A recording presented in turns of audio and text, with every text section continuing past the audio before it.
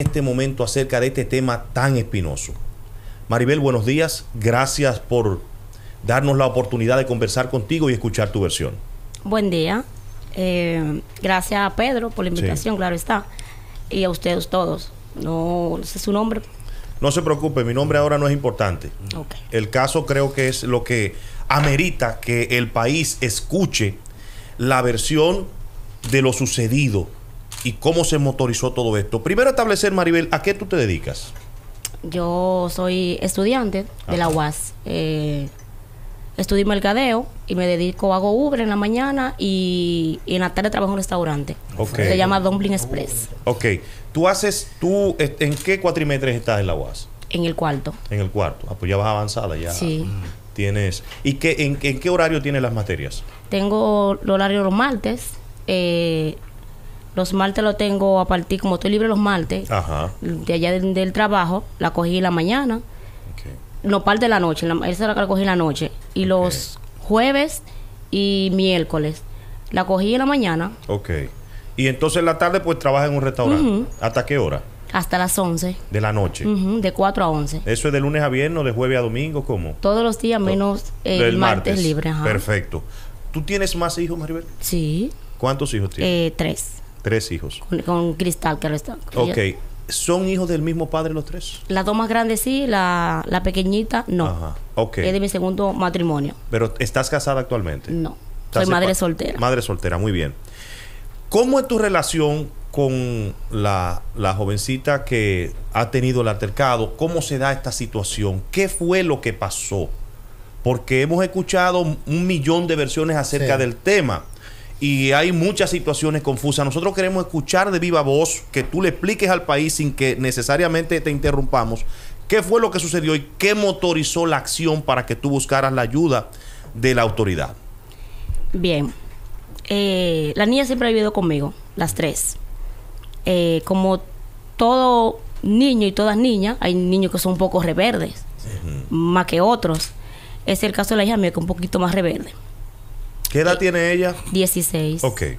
16. Ella eh, últimamente estaba eh, que quería, me- ya me tenía el tiempo cogido de la casa. Ok. De que yo llegaba del trabajo y se iba a poner una amiguita.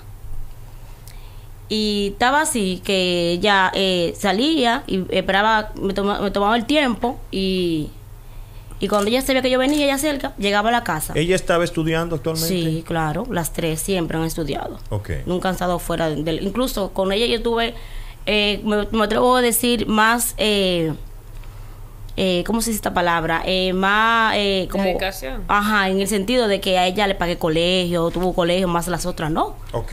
Y, y algunos gustitos que le di a ella para que se entretenga y eso.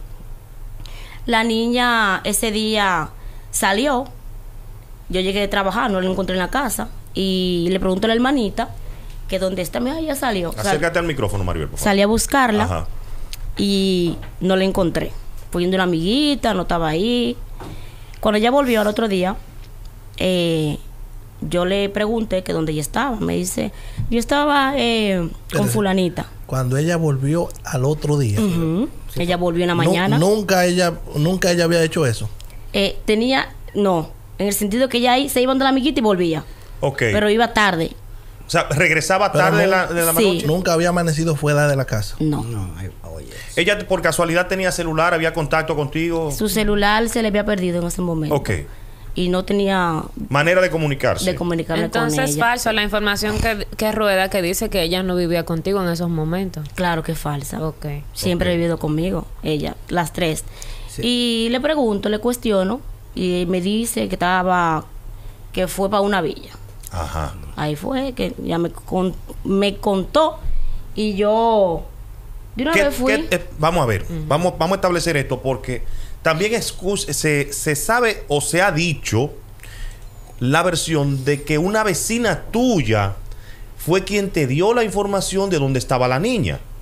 ¿Qué hay de cierto en eso? La, no, la niña fue que me dijo. La niña fue que te dijo, vamos a construir los hechos para poder establecer con justeza la versión que tú nos vas a dar porque eh, en cuanto a la verificación del caso es lo que tiene el Ministerio Público. Sí. ¿Qué fue lo que te dijo la niña de manera puntual? La niña me dice, yo le pregunté dónde tú estabas. Ella me dice que, que estaba en la villa, que fue para una villa con, con la demente. Ajá. Le pregunté qué pasó. Ella me explicó y me dijo, me dijo, mami, eh, de verdad, te digo la verdad. Y yo, sí, dime la verdad, porque si tú no me dices, eh, me dice, mami, pero estás segura, pero no tomes represalia, me dice. Digo yo, pero dime, yo soy tu mamá. Y ahí fue que ella me contó y me dijo todo lo que me dijo. ¿Pero qué le dijo? ¿Qué fue lo que te dijo? Si tú, si te sientes cómoda en detalle, porque es un caso público y, y- y debemos establecer aquí, entre otras cosas, que a ti se te ha cuestionado bastante y, y se te ha sacrificado incluso Sí. a nivel mediático, porque mucha gente entiende que fuiste irresponsable y que incluso se han, se han manifestado de otras maneras y se ha malintencionado, la, la acción que tú tomaste se ha, se ha tomado de mala intención. Sí, todo eso lo sé. ¿Qué te contó ¿Qué la te niña contó la niña? La niña me contó que, que tuvo en la villa, Ajá. que la demente la llevó para allá y que, que estaba eh, en una piscina bebiendo y eso. Yo hasta la grabé la niña. Yo tengo el video donde yo la... la Cuando Donde ella expresa. los hechos. Sí. sí. claro. Pero eso ahora ustedes lo saben. Ok. No, lo sabe el país. También- Lo sabe el Ahora país. sabe el ahora, país, ahora lo sí, sabe el sí, país. También se hace... sí, un, momentito, Duarte. Sí. Un momentito, perdóname. Lo que pasa es que queremos hacer esto con la mayor calidad posible y la mayor precisión para que no queden lagunas. Porque te- la gente tiene muchas lagunas y no sabe qué ha pasado en esencia. Primero, ¿cómo entra la demente a la escena? Segundo, en detalles, lo que la niña te dice a ti es lo que maneja el Ministerio Público. Sí. Ok, ¿cómo entra la demente a la escena si tú tienes conocimiento? ¿Cómo la niña conoce a la demente? ¿Cómo se relaciona con ella? Ni idea. Ni son primas, como se dicen los No. medios. ¿No son primas? No, son- porque se establecía que supuestamente Sí. el papá de la niña eh, era hermano del papá de, de la demente y que Ya tenían no una relación de familiaridad y que él le pidió a la demente en una visita que le hicieron que la ayudara Ah, a la niña. Eso yo no lo sabía. No tenía ni idea de Sí, eso. Eso fue lo que eso, Eso, eso es una lo que versión se, eso es lo que se dice. Mira, exacto. Yo ni me he molestado ni siquiera a ver las redes de Precisamente, lo que se dice. Maribel, precisamente, Qué ¿tú sabes bueno. por qué, por qué Para Pedro. Sí, por porque qué te Pedro te invitó? Para que tú nos edifiques y edifiques al país, porque hay muchas nebulosas y hay muchas versiones encontradas que no tienen prácticamente razón de ser. Y por eso estamos aquí en la entrevista, para que tú nos expliques, tú, que era la, la que ha vivido la situación y la que ha motorizado todo esto, para que le explique al país qué es lo que está sucediendo. Sí, no, yo no, no conozco a la demente. Ese día yo me enteré de la demente, la vi en foto y todo. No, para nada. No, conozco- no son primas ni nada. Una delincuente. No, no, pero no califiquemos. Vamos, vamos, vamos. la demente, la delincuente sí, no, no, tranquilo, Samuel. Vamos, va- vamos, vamos a edificar al, al- al- al- Entonces- al público. Dale, Eduardo. Puedo. Tú no conoces a la demente, eh, entonces, ¿cómo tu hija es amiga de la demente? Porque para llevarla ahí tienen que ser amiguitas. Sí, o sea, pero- y tú tienes que conocer las amistades de tus hijas. Sí, hay un factor muy importante, que es que yo no conozco a la demente, pero sí conozco a la de truchita. tu hija. Pero Ok. sí conozco a la truchita. Ok. Sí conozco a la truchita. Ok, ¿Quién es la truchita? ¿Quién es la truchita? Es como una hermana de la demente. Ajá. Esa es la que sale. Esta niña yo le di clase porque yo fui maestra sustituta también. Ok.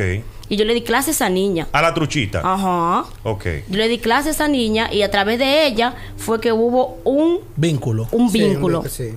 Hacia la demente.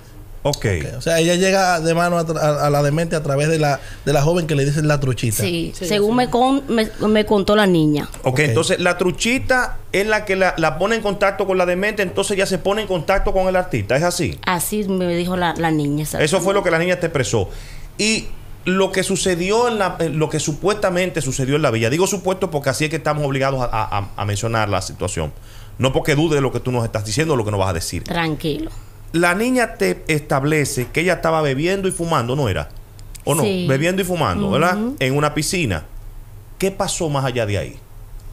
Ella me contó Ajá. que la demente la llevó donde estaba el artista Ajá. y sostuvieron relaciones sexuales, me dijo la niña. Ella te dijo eso. Y usted tiene eso grabado.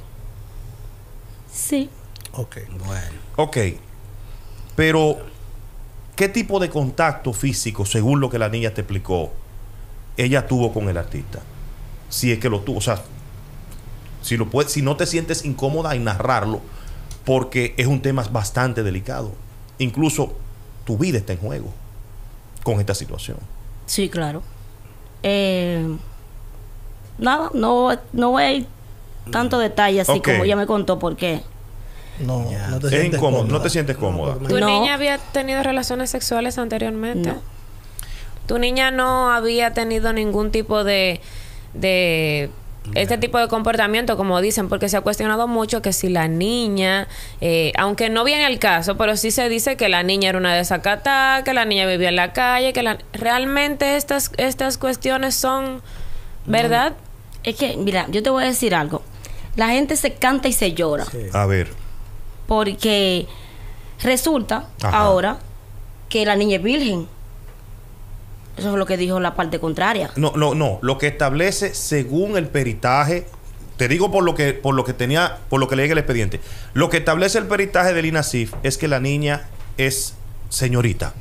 Así, literalmente. Ujú. Entonces, adelante. Eh, me perdí.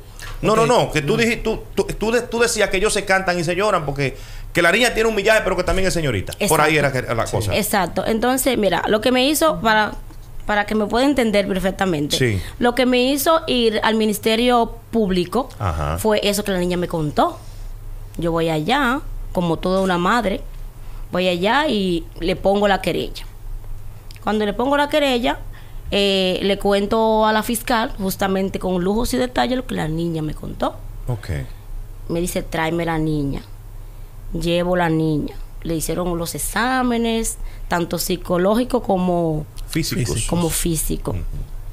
Pedí que me dieran, que me dijeran lo que salió en el examen como madre. Una constancia de lo que es del, del peritaje. Nunca me la dieron, Pero eso está en el Mm. expediente, Maribel. pero no me la dieron. Ok. ¿Qué Yo- te alegaron? Dígame. ¿Qué te alegaron? ¿Qué dijeron para no darte lo que te dijeron? Me dijeron que eso es algo privado. Oh. Y no parece porque como que yo dije, pero algo privado y, y- y está en el mundo entero. Exacto. Y yo no lo sabía. Yo que soy la madre no lo sabía. Ok. Entonces, eh, me puso en duda muchas cosas ahora en el juicio. ¿Qué ¿Como, fue? como cuáles, por ejemplo? Esa, de que la niña, eh, salió la abogada de la parte contraria diciendo que la niña nadie le había tocado. Pero eso es lo que dice el expediente. Lo que establece, establece, y te lo voy a citar, por si acaso no tenías la idea, establece